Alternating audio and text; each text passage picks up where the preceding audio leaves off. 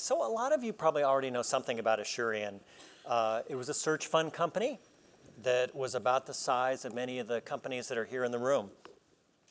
But since the acquisition in 1992, they're at 8 billion in revenue, 1,600 employees, which by the way, to put that in perspective, is about the same size as Facebook. 22 countries, 53 cities. We have with us three of the architects of that success. Kevin Taweel, Jim Ellis, and Gerald Risk. Uh, Kevin and Jim were both former case writers with Irv Grousbeck, as I was, so it's sort of something that we all share in common. Um, they, Kevin and Jim, both raised their search funds separately, which a lot of people don't realize. And they joined forces later on after they were already in the search. And that's something I, am going to ask you a little bit about later on. Uh, Gerald joined Asurion a few years later after they had bought the company, uh, also a Stanford MBA. And later he worked his way up to being CFO and then president. Uh, how I got involved is one day Kevin called me up and asked if I'd like to invest in his search fund. And that was back in a day where I think maybe at that point there had been less, less than five search funds raised in total, and so you were desperate, so I was on the list. And I remember I didn't have any money at the time, and he bridged my finance, my search fund unit until I got my company sold so I can invest in road rescue. Thank you very much, by the way, for that. but we're not going to talk about how to run a billion dollar company. Um, instead, I'm going to ask these guys to go back in time, 25 years, and see if we can't tease out some of the reasons why they are where they are. Lessons not on how to run a billion dollar company, but how to create a billion dollar company. Now, Asurion began much like all the companies in this room. Uh, in fact, you know, we sometimes forget that, uh, uh, that and not so long ago, Jim was reminding me of a story which I, I'm going to ask you to share with us. Uh, the company used to be called Road Rescue, 10 million in revenue, 75 employees. Most of them were truck drivers or call center employees. Uh, as I remember from our early board meetings, it was in industrial Houston, not exactly the fanciest place. Can you, would you just share with them a story so we can kind of set the stage for what Asurion or Road Rescue looked like in 1992? Was there a particular story? There was the story where the company sponsored a concealed weapon class, and we had to fire our receptionist who carried a 38. There was the uh, issue where somebody threw rocks through our window, and Kevin and I had to answer calls all night. There was the fact that we had to repossess uh, uh, one of our tow trucks when our driver got drunk and passed out at a motel, and uh, we had to go find him. There was the landlord that asked us to uh, please have our employees stop having sex in the fire escape. Um, there was, um, so there's a lot of story. I mean, it started, I mean, we really did start kind of in a, in a business that was pretty raw. It was, I mean, a lot of the, we were, when we were looking at buying other companies, it was one of the things that a lot of people told us to stay away from in terms of towing and it wasn't necessarily the, uh, we weren't working with, we were possibly the only MBAs that entered our business of towing cars the year that uh, we graduated. Yeah, so it was all glamour when they first had that business. um, Kevin, I want to ask you, uh, you two didn't start out as partners. You met along the way. And many of us in the room have struggled with, do I want to run a company by myself or with a partner? I, I, I want to ask you, so how did that all come about? So uh, for most of you, this is, is probably too late um, since you already partnered up or made that decision. But um, when I was going through the process of um, thinking about a search fund, um, I had already tried everything else. Uh, thought about business plans and tried to start a, thought about starting companies, and that didn't, nothing panned out there. So once I decided to do a search fund, I knew I was going to do it, uh, either solo or um, or with a partner. And uh, I, I, was certainly hell bent on doing it one way or the other. Strong preference um, to do it with a partner.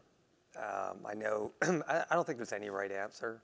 Um, and I think there are success stories across the spectrum or in both situations. But for me, the, um, the idea of a partner has some of the obvious benefits of sharing the highs and lows. Um, uh, you know, John Stanton talked earlier about the loneliness of being the CEO, and, and you obviously have less of that uh, with a partner. but uh, I think at its core, really, um, why I really wanted a partner was just a, a belief that, yeah, given the right opportunity, um, you can accomplish so much more as uh, as partners than than any one individual. So, so maybe building a little bit about, upon that, it was, what, a half a dozen years before Gerald joined, or wasn't?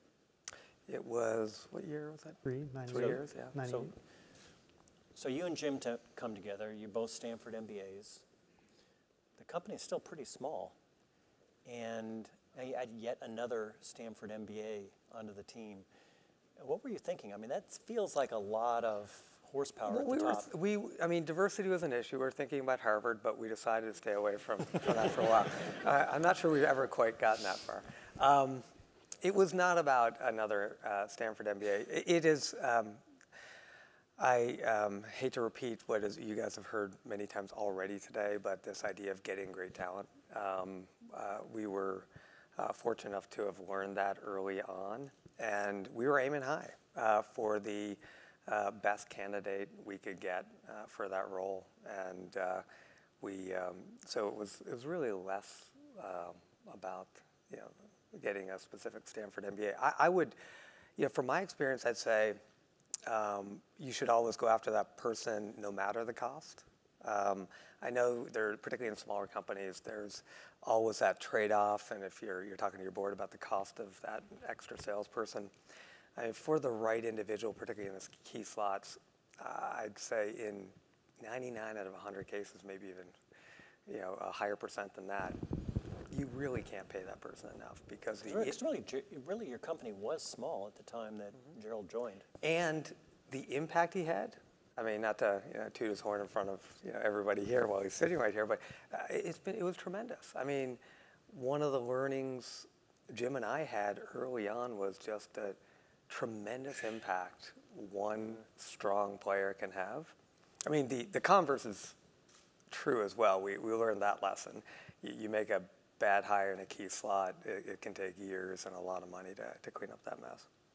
Well, Gerald, so you got a degree here and you had a career in investment banking that was doing well. What was it about joining a roadside assistance towing company, working for two people who were essentially your peers? What was it about it that got Kevin and Jim to get you on board? If you can remember back. I can. Um, so first, it fit with my career aspirations at the time. Um, I had You so- mean being in the towing industry? in the towing industry, um, and uh, so I was working at Goldman as an investment banker in San Francisco, and I'd really joined there, yes, to build skills in investment banking and maybe a career there, but really I joined with a view to using that as a sentry post to, to find an opportunity to be an entrepreneur. I'd come to Stanford like many people and didn't maybe didn't really know what entrepreneurship was, but was kind of interested in it. And maybe like lots of people in this room, I didn't see myself as a startup entrepreneur. And so well, how am I going to be an entrepreneur if I don't won't start a company? And kind of kicked the tires on search funds, but that wasn't a good fit for me. So I thought, oh, I'll be, I'll join the senior team of a growth company, um, which seemed kind of unrealistic graduating from the business. Was oh, I'll go back into banking and see where that le- build skills and relationships and see where that leads. And so when Kevin called me um, out of the blue, it, I was like, oh, here's the, you know, I was very primed for the opportunity. It was really, oh, here's a, a growth company. And then I didn't look at Kevin and Jim and think of them as peers. I looked at them and thought, oh, here's two people who have, at this point, six or seven years of hard won entrepreneurial uh, experience, uh, a great reputation. I thought, oh, here are two people I can learn uh, about being an entrepreneur from. And I looked at the board and I thought, my gosh, what a, I mean, what a great um, opportunity to kind of do a good job for these people. And if, you know, if that's all that happens, that's, you know, that's a great outcome. And then I actually loved the contrarian nature of the decision. It just sort of fits with my personality that that was 1998. And if you were leaving Goldman, if you were an associate at Goldman, you were leaving, you were leaving to be CFO of an internet startup. And I I just it was like weirdly more appealing to me to I'm going to join a towing company that actually has cash flow. Uh, Well, okay, but it was a towing company. So what was it about, if you can recall anything about the way Jim or Kevin positioned it, that made it attractive for you? And the reason I'm asking is that you know a lot of this is about attracting good talent. It's one thing to say, okay, I want to I want to find my Gerald, but how do you get that somebody like that to join your company, especially the kinds of companies that, that we all have? Yeah. So, so building on some of what I or adding more specificity to some of what I just said, um, Kevin and Jim were very effective in um, painting a compelling vision for the company. Um, that yes, it was towing, but we were tied to, well, at that point, we were still um, uh, chipping our pick on like insurance, but you know, they made a compelling. Hey, this is why we're going to take over towing for auto insurance. And we also had mobile, and that actually seemed quite compelling too. So they painted a very uh, compelling story of where this company could go. Um, and it had validity because oh these you know these smart investors that I have a you know that I don't know but I have a lot of kind of implicit respect for backed these guys and this growth story and it just it, it seemed very compelling. If I remember correctly, one, one of the things we really tried to present is we're bringing on another partner. You weren't necessarily there at the founding, but we didn't want somebody who was just going to be an employee who managed finance. We were really thinking about somebody who's going to have thought leadership, play a role in the strategic direction. So I think a big part of the sale, at least it was our intent, was you're going to have impact. You're actually going to have a founder-like role in the direction of the company. You're going to have a pretty meaningful voice in that. You know, the, um, it, this was brought up in one of the earlier sessions about you know, how do you sell this opportunity. And for road rescue, but I think, you know, in most cases, I mean, for people who will talk to you, um, assuming they've got some sort of entrepreneurial aspiration, I think we all have an amazing story. I mean, this is an opportunity for, um, for somebody often at a younger age to take on a bigger role, more responsibilities, and to be a, have a seat at the table at making the key decisions that will drive the company success or, or failure. And that's, um, that's a pretty heady uh, opportunity for anybody. Of course, there's an opportunity potentially to, to create wealth along the way, um, but to have that seat at the table, to be able to make those key decisions, you know, uh, folks at that age coming in, you know, working in mid-sized or larger companies just don't have that opportunity. So Jim, um, yeah, I'm sure there are people in the room that are kind of sold that, boy, if I could find somebody like Gerald, or later we're going to talk about Brett Comolli, who, who they recruited later, I would do that. But I don't know how to find that person. And I think there's kind of a mythology that these people just sort of fell in your lap along the way. What, what do you recall from how you and Kevin used to find talent and then maybe bring it to a day of, you know, an age of LinkedIn and social media and so forth so that we've got something that we can work from? Yes, I, I would say the most valuable resource that we've had in terms of attracting the best talent has been the network that we individually developed, the Stanford network. Um, if you look at Brett, who we'll talk about, who was a who was a GSB grad, Gerald certainly. Our current, we've announced who the next CEO is, uh, Tony, who will be, um, who's a GSB grad. So I think early on, I think we abdicated some of the hiring process to recruiters when we would hire somebody and then kind of say the pros are here, we'll vet the candidates, but really left it in their hands. And I think we found oftentimes those produced candidates that, that weren't, didn't have the tenure with us, that didn't have the impact. And I think when we found people through our network and put them through that process, that we ended up with much better folks. So I would say a lot of our key players came from networking, just making sure that you tell everybody out there what it is that you're looking for in terms of talent. I think starting when you start to develop a reputation that you allow people to make decisions and have impact beyond their past experience, that we weren't looking for somebody. I mean, Gerald is a perfect example, coming on as, as CFO when he had never had a CFO or a controller role before, I think meant people were kind of stepping in with some of the weird aspects of being a towing company um, because they had more opportunity. So I think presenting the opportunity the right way, I think leveraging your network. And, and I think lastly, I think a lot of places where we made mistake in hiring is we kind of went through this search fatigue and we would hire, and we'd say we had six months for a search and at the end of the search you just hire whoever the last person was uh, on the list, and I think most of the time we ended up really disappointed in those. So I think it's kind of keeping it going, particularly for key positions, until you find folks. And, and for us, it's been huge success through the through the Stanford network. And despite what Kevin said, we've actually hired a few people from Harvard. So um, uh, you touched on an interesting point, which is that, of course, you know, we can talk about the people that worked out, but there were a lot of people that you hired that didn't work out. What, what sort of process did you have to try to make sure that if you made a mistake, you dealt with it quickly? Or, or did you early on? No, we were terrible. I mean, we, I mean, I think we we had one person who, you know, we kind of joked that that uh, he eventually became vice president of special projects. And a career advice: when you become the vice president of special project, you're past your expiration date. Um, it just meant it just meant that we weren't willing to pull the trigger, and we kind of passed uh, it on from department to department. So I think we eventually learned to get better. I think the toughest thing is actually making the decision as to when is the right right time to to part ways.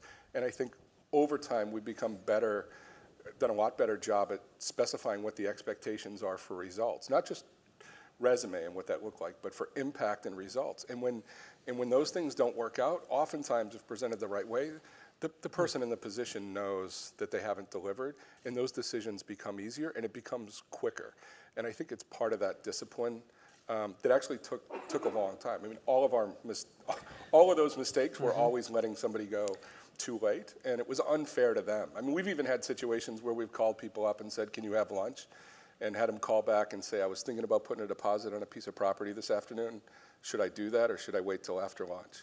I I mean, clearly, clearly it was terrible management on our part that that person was coming to work every day knowing that they were underperforming and just waiting for that phone call. So I think we got a lot So you better. did it at lunch? We did. I, I, I suggested that he may not want to put that deposit down. I, the first time I uh, had to terminate somebody, I didn't want to do it in the office, so I went down the street to McDonald's.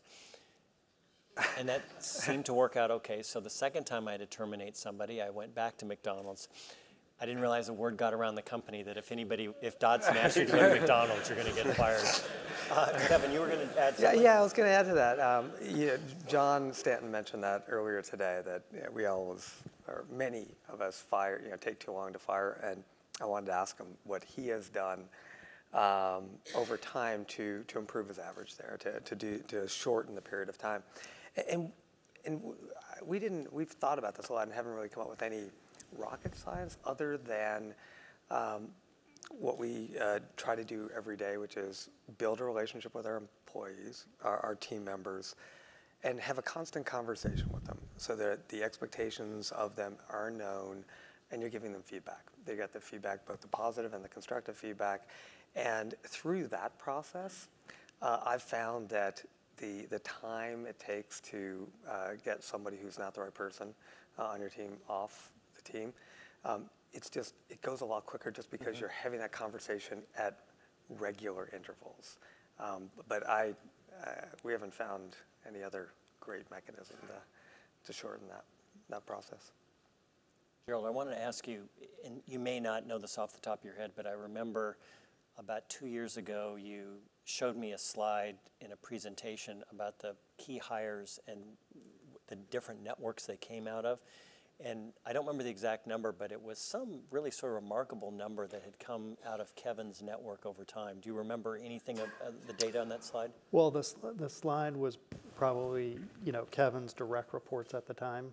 And it just, it's just sort of data backing up Jim's comment about the Stanford network is that there are probably seven direct reports and five of them were from Stanford and, um, and one, or t- t- so probably four, uh, four were from Stanford, two were from our professional network over time at Asurion, like clients we'd worked with or people Brett knew, you know, had gotten to know at the CTIA, and then one was through a recruiter.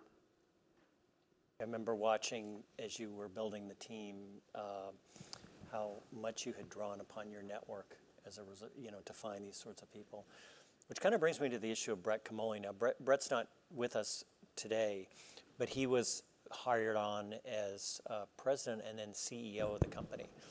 And so He was brought on directly as CEO. direct- well, I'm going to get to that actually yeah. because so so Asurion was maybe a half a dozen or ten years into it since you had bought it at the time? Five? Uh, six, Okay, five, so five or six. Yeah. You've already brought on Gerald. Company's doing well, maybe 1,000 employees, something like that, but it, but it was doing better, and, and, and we knew that it was going to be successful. And then you bring on somebody else, and this is a little bit different than when you brought on Gerald. And when, when the two of you brought on Gerald, you were sort of building out your direct reports. This is quite different. You brought on Brett Comolli, and you said, no, I'm going to step away as CEO, and you run the company now. I think a lot of us would have trouble doing that because we would say, well, things are, things are successful, things are doing well. Can, and, and I do remember in the board meeting being honestly a little perplexed and I couldn't figure out if you had lost confidence or what was going on. So tell us a little, it turned out to be an incredibly wise move. Tell us a little bit about your wisdom around that. Well, it, it uh, I don't recall it exactly the same way, David. Um, the uh, um, uh, Jim and I wanted to to bring on um, uh, you know Brett onto the team, and you can share some of your thoughts on this in a second, Jim. Um, we um, he was a, just an amazing talent, and we had initially scoped this as a COO uh, role. Well, Brett, given his experience and his prior um, roles, we were never going to get him without the CEO title. And it wasn't that he, um, I- don't even recall him putting up uh, that as a barrier per se, because that's just not Brett. Uh, but we knew we wanted him. We knew how talented he was. We knew what, what kind of value he could add, and we wanted to bring him onto the team. So, so Jim and I talked about it, and uh, we were, were comfortable um, giving him the CEO title. W- where I differ uh, from your, um, uh, your what you said is, it was never to turn it over to Brett to, to run the company. It was really, you know, this was at a time where Jim was transitioning um, out of the business, and uh, we were looking for really uh, a partnership. Um, and to me, it was the titles were really less important. It was I was looking for a partner to you know replicate the the partnership that that I had with Jim for the prior six seven years. And you know, in retrospect, I think it was a, an incredibly risky move. I mean, incredibly. I mean, to, to bring somebody in from the outside, um, I And wouldn't try to fill his shoes. uh, yeah, I mean, I- it's just uh, you've got a company, you've got a culture, and bringing in somebody from the outside at that senior level is always, uh, I think, a pretty risky uh, endeavor. Uh, You know, as, as you know, as we thought about it, as I thought about it, the, the real key was how were Brett and I going to work together. And um, you know, certainly one is um, I wanted to emulate the communication that Jim and I had, which was uh, not daily; it was multiple times a day. Um, we would talk uh, at length, uh, you know, you know, in very short spurts, um, and and the um, it was it was almost like a continuous flow, and uh, I was hopeful that Brett and I would get there, and we ultimately did, or we did almost right away. And then I think the the, the telltale sign for me in a partnership is whether um, the other person is pulling you in or pushing you away, and you know, really concerned about his or her sandbox. And this, these are my roles and responsibilities. That's, that's to me, that's a, you know, uh, not, not a yellow flag, it's a red warning flag. Um, and you know, I think uh, great partnerships are built on one person asking for advice, pulling the other person in. You, you have clear delineated roles and responsibilities, but you want the other person. Yeah, that's a really interesting metric. And, and Brett was the, the right person. I mean, in, a, in so many different ways. I mean, look, and first of all, we've never been titles. I mean, we literally flip coins for titles, for offices, for all the rest of that stuff. So they're really those decisions. That, that is actually no joke. We were uh, at the uh, SFO, and we were trying. We were going to. an investor meeting. Was it Jim Southern? Jim Southern. I think we were going to. And we're like, Jim is not going to let us get yeah, away Jim, Jim's gonna unless ask, he's gonna our ask this question. Jim's going to ask us this question, and uh, we were at a payphone. Do you guys remember those? Like payphones, um, and uh, we called her for advice, and um, I think he, he gave two pieces of advice. One is, um, you know, skip the CEO title, just have one president, one chairman, and flip a coin, and we flipped it right then and there. That was it. Um, but uh, in terms of Brett, uh, we've never been sensitive, so there really wasn't a lot of territory, certainly between the, the, the two of us. And look, we had, the company had grown so fast. So by the time Brett came on, I think we were $300 million in revenue. We, were, we went from 70 employees to 1,500 employees. And I think a lot of that growth, we had really gang tackled a lot of problems, new contracts, new markets, new products, or whatever it is. And I think we had way outgrown organizational structures, systems, processes. So we spent a lot of time building the business, but less time building the organization. And the next stage, it just wasn't going to work, right? I mean, it's, it's not force of will and personal connections. It really has to be much more structured. And Brett, look, he was second in his class from West Point. He had been a CEO before.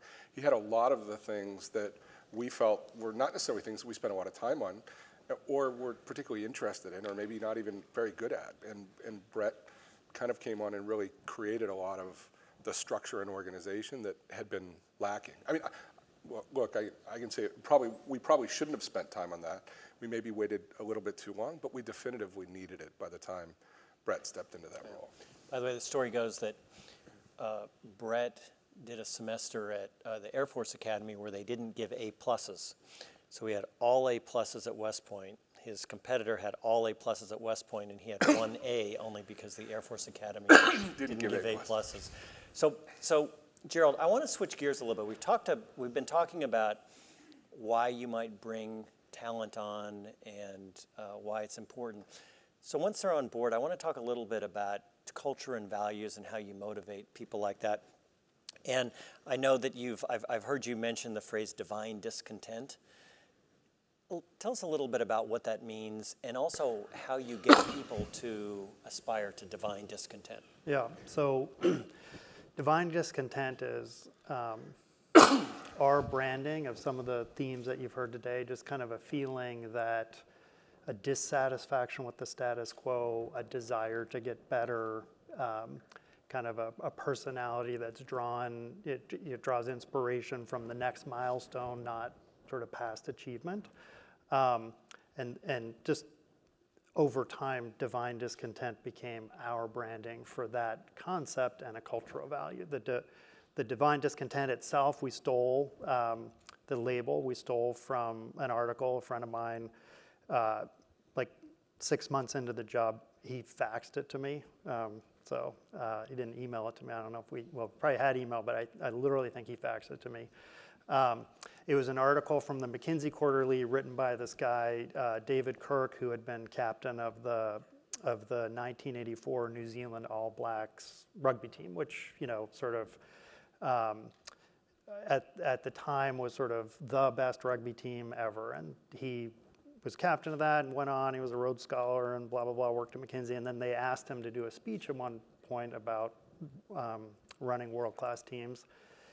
And, uh, and then he reduced his speech into this article. And one of the things he talked about was the mindset of the team, and he labeled it divine discontent, and how they looked at competitors not as a way to, they wanted to thrash their competitors, but they really didn't look at it as victory per se. They looked at it as a, any competition as a way of measuring themselves against their own standards. And there's other stuff in the article, but that was sort of divine discontent. And I read it and I was like, you know, and I kind of walked down the hall to Kevin's office and showed it to him. And we just, it just resonated with us. And like, this reflects our personality uh, and kind of what, you know, on our best days, what we want to try and create here. And over time, it just became, you know, it was in the water. We actually created a, I mean, we have operating principles and core values. And it's one of our core values, divine discontent. Uh, and we found it to be highly functional. Um, and the reason it was highly functional is that it gets it, you know, we paired it with with, we, it just was a great way for people to engage in how do we make things better without being defensive. Um, so we could say, I could go into my into the CFO's office when I was president and sort of say, what does the finance organization look like at full potential. And it's not like, you know, I don't think that, you know, I don't think that guy's very good, or I don't think, you know, our AP is up to snuff. But it's a totally different question to say, what does this look like if it's really awesome? Um, and and and that just became very. It led to a lot of comfortable, you know, led to very comfortable conversations about how we can get better. Jim, you've also, along with divine discontent. By the way, I might Yeah. add one thing please. is, um, So I got that article in 1999, and it became part of you know company. You know, it was like our core values, and so probably in 2013 or 2014, Kevin and I were in Hong Kong, and we're trying to uh, recruit um, this guy David Moffat to be the chairman of our Australian business, and he he had been the number two guy at Telstra. So you know, again, like aspiration is to attract great people to our company. To like a startup, you know, like we didn't have anything in Australia, and he asked us to talk about our values. So we talked about our values, and we start and we tell him about this story, and he kind of lights up. And he's like, "I know David Kirk. He's a friend of mine." And so the next day we walk into the office, and he's he's like, "Hey," because he was meeting us in the office the next day. And we walk in, and David Moffat's, hey, Kevin, Gerald, come over here. And we, and we go into a conference room, and he calls David Kirk and he introduces us and, and he says that, you know, here are these two Canadian guys running this American company and they, they read your article and it's all part of, you know, it's all, and he's like, you guys might be the only ones who read that article. but I'm glad it's had such a big impact on you. That's good. So uh, another one of your core values is is focus on the core, uh, focus what's on most important. I think you call it focus on the core, right? So Jim, I want to ask you. I mean, I think we sort of generally know what that means. A little bit about the struggle to, to make that happen. I think it would be all hands would go up if I said, Does everybody think it's important to focus on the core? But how did you actually make that happen? So I think there's a couple of things. In particular, early on, I wouldn't say that we were very good at it. I mean, I think if you asked us if we had priorities, we'd, we'd tell you, yeah, we, we did. But I think the real issue is how do you end up allocating your time and your resources differently is, is really the tough part. Saying this is really important and then changing behavior, I think, is really hard. One example, and we had a, it was a Stanford GSBer who was running a piece of the, of the business, and he always seemed to be majoring in the minors. And you know, you'd sit down with him and you'd ask him, what's your priorities? And he would give you a list of 40 things. And they were probably in the right order, but he didn't change the way he got up in the morning and what he did. And now certainly there's going to be forces that drive you throughout the day and distract you, but I think we've really tried to internalize, identify what's the most important thing for the company. Most of it, most of the time for us early on it was externally focused and kind of internalize that as a, as a real value. So we're a client-centric company and kind of talk about it in that way. So I think that changes a little bit your mindset. I, I think number two, a lot of the people that are in this room, pr probably everybody, is a little bit of an overachiever. And I think there's some uh, type A personality, and there's a little bit of a resistance to something's my responsibility and on my plate. And I feel like I, it's my responsibility to spend time and attention on that. Whereas when you're in, a C, in the CEO seat, as you know, I mean, it's, it's hard to approach absolutely everything with equal level of enthusiasm and energy. It's actually inappropriate, right? I mean, if we got two or three things right, it was going to dramatically drive value. All the other things we could do correctly, but if we didn't get those three things right, it didn't matter how well the other things kind of came together. We wanted to do an, a good job on. And, and I think the other thing is that there's a level of discomfort early in your career that I'm not spending time on that. And I think the priorities, what we've tried to drive the organization to, even at the individual level, is it's, it's as much about the things that you don't do as it is the things that you spend time on. And how do you, how do, you do that? I think you know, you, you have those conversations early in your career with the board. They help you make sure you've got the right priorities, ask the tough questions about how, do you, how are you spending your time, whether it's on team or product or company. And um, I, I, think having that confidence to make that time allocation decision, I think is one of the tough parts that happens in somebody's career. And this is something I'll turn over to Kevin because he's probably the best person I've ever seen at this. Um, but Kevin, ever since, I, I just remember ever since it was, I don't know, since the 90s when we were working together, there was always one or two post-its on his computer screen. And they were kind of guiding principles. Do I return that call? Do I answer that email when I pick up the phone when somebody says, hey, can you come into a meeting? And it was usually renew a contract or fund this or deal with this problem or hire this position. But there weren't 10.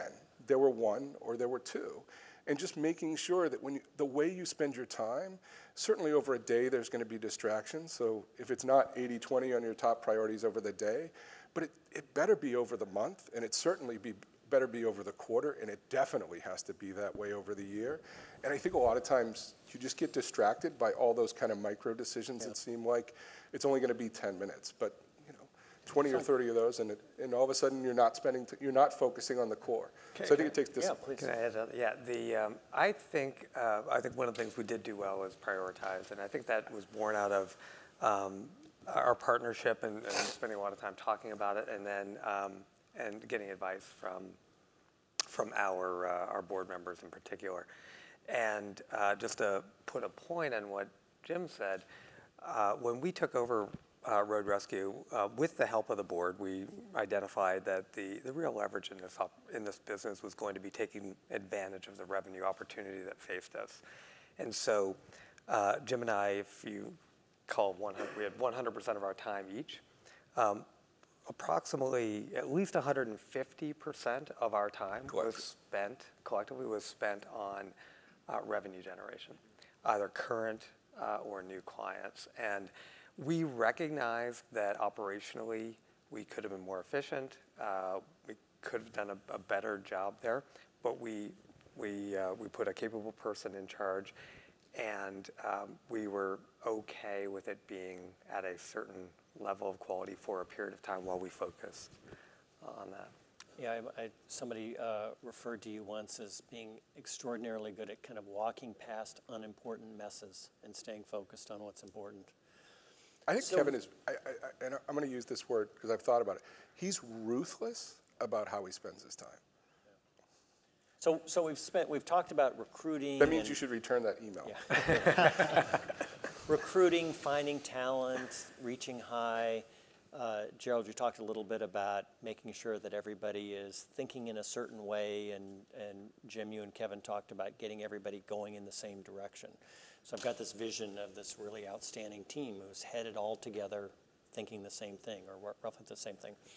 But I, I feel like you have another part of the team here, which we're not your employees, but your, your network and your investors.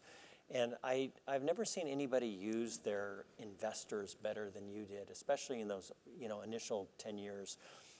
Um, tell us a little bit about kind of I've got this I've got this narrative in my head that you would see a problem and you would ask yourself, well, can I just pick up the phone and get the answer? And if I can do that, I don't need to solve it on my own. But that's my, that's my own narrative. By the way, it's, fu- it's funny you pose a question that way because today I find I spend most of my time trying to ensure that our senior team is actually aligned and heading in the same direction. it is so freaking tough. It, it is. It's sort of amazing that um, you, you need to continue to um, to share the message and, and, and the direction. Um, uh, early on, uh, Jim and I made um, liberal um, use of uh, our board members' willingness to reach out and uh, offer to uh, for us to reach out to them. And, and David uh, was uh, one of our board members probably recalls uh, frequently Jim and I, probably on a weekly basis, um, reaching out to at least one of our board members. And we, um, uh, what gave us confidence to do that, um, that we weren't asking silly questions, was uh, that we would test it against each other first. At least it gave us a little bit more confidence because I know um, being in that seat alone, I'd worry about, okay, is this really silly and, and would I look stupid in front of our board? Uh, I, I think that what we came to find was um, our board was so open and willing to help us and wanted to help us. And, and what we found was what we thought was a thorny issue for a board member is a 30 second answer. I mean, once you've seen something four, five, six times, it's the, the questions that you may have had, the, the, the gray area sort of falls away because you, you have the data and, and you, you sort of understand that. Um, we have tried to build that into the organization in, a, um, in an interesting way. Um, and it, it really ties to what Jim was saying about prioritizing. So it, it, it, it, we couple prioritization with uh, collaboration and the idea of getting help from the right people. And for maybe a half a dozen big issues every year, whether it's a, a contract renewal or trying to save a client or, or something like that, or a product introduction, we'll bring together half a dozen or eight of the uh, right people who, uh, who can bring information and um, information to bear on this problem. And we'll have one to four sessions that could be three to four hours long. A lot of information and data is provided beforehand, so everybody comes prepared. And we'll have what we call uh, one or, or more of our power of 10 sessions. And that sounds really simple. It sounds really easy, but you are prioritizing. um, something, as Jim just said, most people ultimately don't do really well. They tend to move things along at the same level. And you're preparing for it and you're collaborating. And it has surprised me every single time we've done it. Um, the quality of alternatives and ultimate solutions we come up with when you, um, when you provide that kind of structure around basically what is essentially uh, a little bit of prioritization and a lot of just getting advice. Yeah, there's and a I lot of, there's a lot of lessons in the way the three of you would pulse your network and get advice and fast forward through the easy stuff so you could focus on really growing the company. And I think two things in particular that we did that made us more effective at that. Number one, um, and now being on the other end, the receiving calls for, for advice. I think number one, we tried to make it time efficient and easy for the person to give us advice. So it wasn't a rambling conversation, it was structured discussions um, with the facts that we thought were needed. And the other thing was we didn't try to sell. So we really didn't try to come into those situations asking for advice, where really what we were trying to do was sell a board member, an investor, or an advisor on a position that we believed in. Um, we tried to take a position where we're generally open, and the questions weren't, you know, the response wasn't if we disagree with it, why about that, you know, no, but we think this. It was, why do you believe that? Why do you think that? It was a lot of the, the kind of why, why, why until you, until you really got good advice. If you look back in your early uh, career as a manager, maybe those first five or so years, was there a, a- an inflection point or sort of an aha moment where you changed and matured as a manager that those of us in the room might be able to benefit from and maybe get there a little faster? So there's many. Um, and, you know, so I've been at Asurion 18 years, um, you know, three titles, but probably had 30 jobs during that time, just how much. Um, and, and so my goal has always been to sort of be within two weeks of the job description on either side, hopefully two weeks ahead, hopefully not two more than two weeks behind. And I remember distinctly, like sort of four, maybe it was four years in or five years in, kind of Kevin did me the favor. He didn't say it exactly this way, but he's like, you know, you might be four weeks behind the job description. You know, you might want to, you might want to catch up a little bit. And uh, and so we like brainstorm. Okay, so how might I do that? And we kind of together like, oh, let's call, you know, a board member and maybe they can.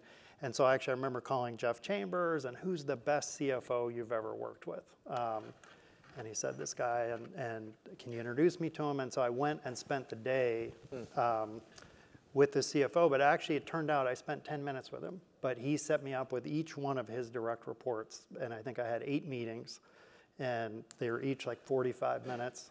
And I literally took like eight pages of notes, and that was like my playbook for the next, you know, I was, oh, that's what a CFO does. I had no idea. I was already on the job four years, so.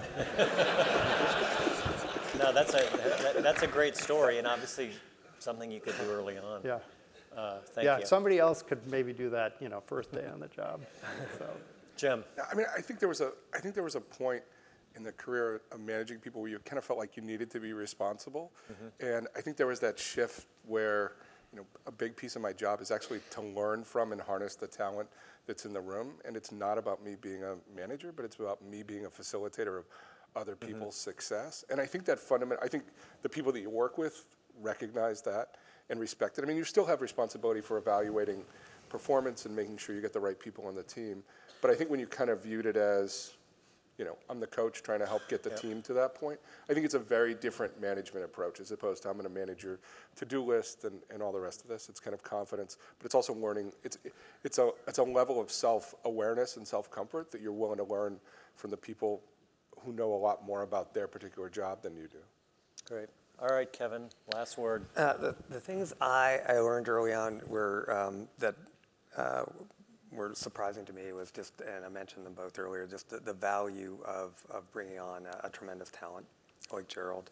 Uh, number two was um, the, uh, the real effect and impacting you have by experimenting, just the, the, the power of that um, and the, the need to always be doing it. But as I thought about um, the first five years and, and most transformative uh, moment um, and you may remember this, David, you were there, um, because this really impacted the trajectory of the business um, for the next 20 years. This was in, in uh, I think, 1999. We were at uh, the board meeting at Southwest Freeway in Houston, and Jim and I and Gerald were there, and we were um, you know, tentative, and uh, we were bringing this big proposal to the board. It was um, cell phone insurance or handset protection, and we, we wanted to propose to the board that we buy this uh, little cell phone insurance company. And we were, you know, um, you know, just sort of uncertain of ourselves, a little insecure, and, and we put it on the table, and there was a little debate back and forth, and then you know, all of a sudden Bill Egan stands up and says, "This is the best business ever." It's like this is an amazing. Isn't that what you said, Bill? no, actually, the, so, yeah. so the, the actual story is Bill's like, what is this? Who would ever buy this product? this is the craziest idea ever. Is that it? Yeah. Except, except for he didn't use the word crazy.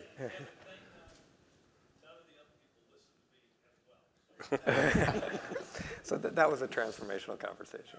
Yeah, yeah. th- Bill, that's how I remember it as well. Um, so it would be easy to have you up here because you bought this company and it's it's the largest company that's come out of the search fund model.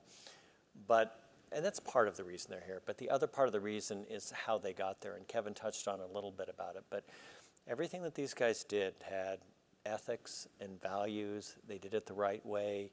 They didn't behave in any way that would leave them to be embarrassed. And then tactically, every move on the chessboard, not every move, but most of the moves on the chessboard were skillful management. And that more than anything is why we're lucky to have the three of them up there. So big round of applause for my friends.